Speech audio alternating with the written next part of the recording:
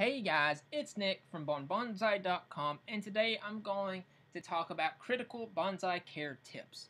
Now before I get started, I want to tell you about my bonsai ebook.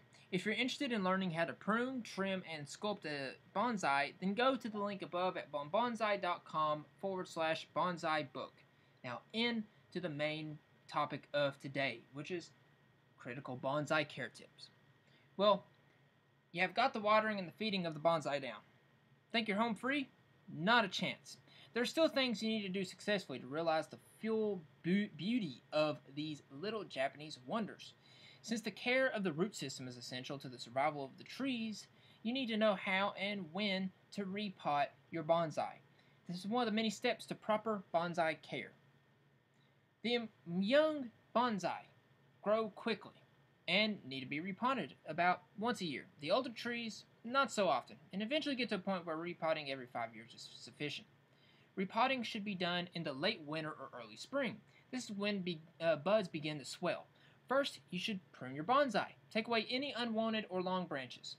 If your bonsai is kept outside, it should be placed under cover for a few weeks before repotting. This will help to, to dry the soil out. You need to carefully remove the tree from its original pot. Check the roots carefully.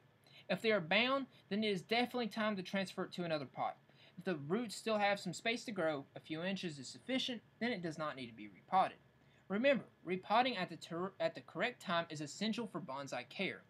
Place it back into its original pot. Now the fun starts.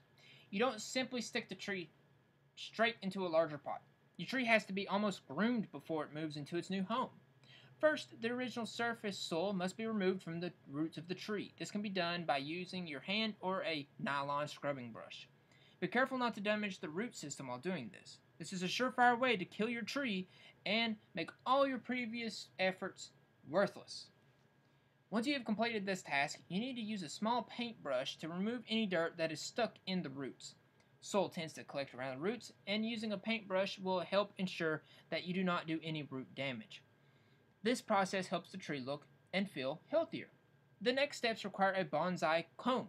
The roots need to be combed out and uh, you know combed out due to the delicate nature of the trees. It is difficult that the use of a human comb.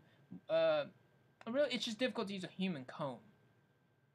So make sure you use a bonsai comb. You need a comb from the underneath and use scissors to prune away up to a third of the roots.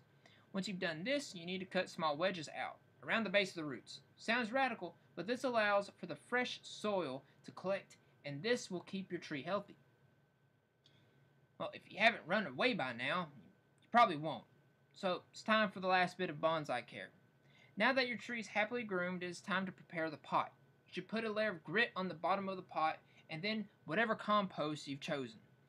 Now that it, now that uh, the pot has been prepared, the little friend needs to be positioned. Once you have sorted them out, begin putting in the soil. You have most likely figured out this by now, but place the soil in gently. Why?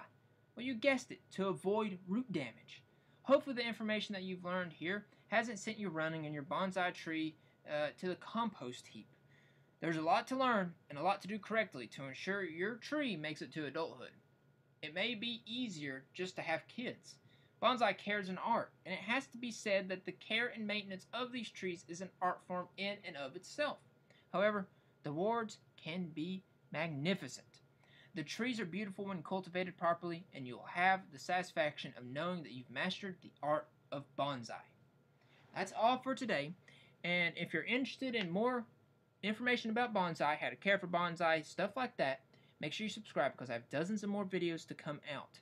Also, check the link above if you're interested in learning how to prune, trim, or sculpt your bonsai.